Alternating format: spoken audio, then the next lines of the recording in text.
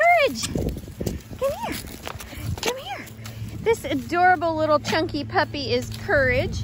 He's about six months old. He's got a bobtail, a very sweet, playful attitude. He loves to give kisses. He's a good boy. Get that toy. Get that toy. He's going to be on the smaller side of medium, but he's very solid. He's playing tug with his leash right now. How cute is that? This little guy is good with other dogs and cats and is doing well with his crate training. He is ready to find a home of his very own. Courage!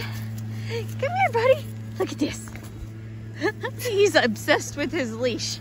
Here, how about this? Here's a good boy. Here's a good boy. Yeah.